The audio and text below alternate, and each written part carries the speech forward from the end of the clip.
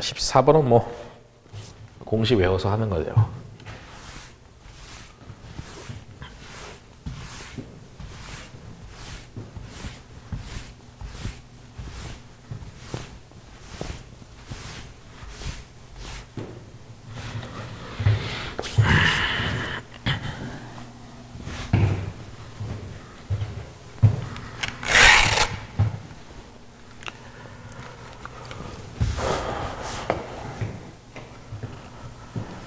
매출액, 영업이익, 당기순이익, 총 자본 나왔고요. 총 자본이 뭡니까? 자본이 아니죠.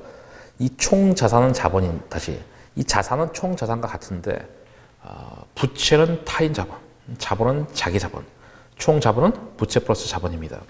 그래서 이 당시 이때 자본을 의미하는 것이 이제 자금 조달을 의미하는 것이죠.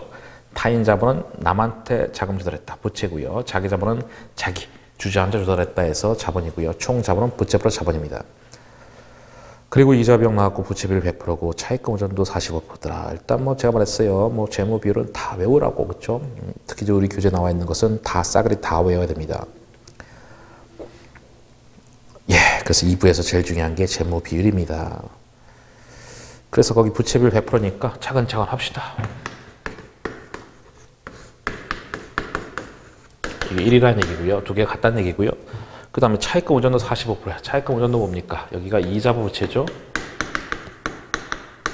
그래서 뭐 총 차입금 이렇게 하는 거죠. 총 차입금이 차입금이 아니라 차입금하고 사채를 합친 걸 얘기하는 것이죠. 이자부 부채. 여기는 부채 플러스 자본입니다. 이게 몇 프로? 45%니까 0.459. 아, 부채 비율은 뭐, 뭐 됐어요. 아까 많이 했던 건데 100% 이하가 안정적이다. 이것은 뭐 30% 이하가 안정적이다. 1번부터 봅시다. 1번 자기 자본이 총 차입금보다 많다. 총 차입금을 알려면 결국 이제 여기서 튀어나오는 거잖아요. 그럼 부채보 자본인데 음, 그럼 여기가 얼마냐?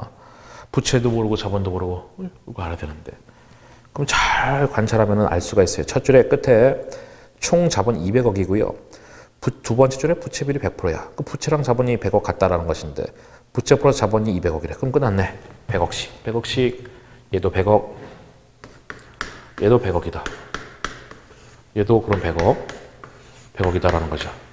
왜? 첫 줄에 총 자본이 200억인데 두 번째 줄에 부채 비율이 100%다라는 거니까 두 개가 같다는 얘기잖아요. 두 개 더해서 200억이면 하나씩 100억이다 이런 얘기잖아요. 그럼 여기 얼마야? 90억? 됐네요. 그래서 1번은 자기 자본이 총 차입금보다 많다. 자기 자본은 100억이고요. 총 차입금은 90억이니까 맞죠? 두 번째, 자기 자본 규모하고 부채 규모가 동일하다는 얘기는 부채비율이 100%다라는 얘기죠. 부채하고 자본이 똑같다. 맞습니다. 왜냐면 두 번째 줄에 부채비율 100%니까요. 이미 설명했고 세 번째, 이자 보상비율이 5배다. 이자 보상비율 어떻게 됩니까? 영업이익 나누기 이자 비용 이자 비용이 첫 줄 끝에 1억이고요. 영업이익은 어딨나?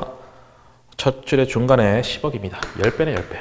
그래서 3번이 틀렸어요. 네 번째, 자기 자본비율 50% 양호하다. 아까 13번 문제 그거 생각하시면 되겠죠. 부채비율 100%니까 자기 자본비율은 50% 됐죠. 그리고 부채비율이 100%면은 뭐 양호한 편이고요. 자기 자본비율 50%면 양호한 편입니다. 뭐 정확하게 말하면 이제 부채비율은 100% 이하가 양호한 편이고 자기 자본비율은 50% 이상이 양호한 편인데 어쨌든 딱 커트라인 걸렸으니까 뭐 괜찮다. 뭐 틀린 문장 아니겠죠? 다섯 번째, 사채를 포함한 총 차입금은 90억으로서 상대적으로 많다. 일단 90억 맞고 상대적으로 많은지 어떻게 알아요? 부채 자본 중에서 총 차입금이 차지하는 비중 그게 차입금 의존도인데 제가 아까 말했잖아요. 30% 이하가 안정적이라고. 근데 45%야? 안 좋네. 너무 많다 이거죠.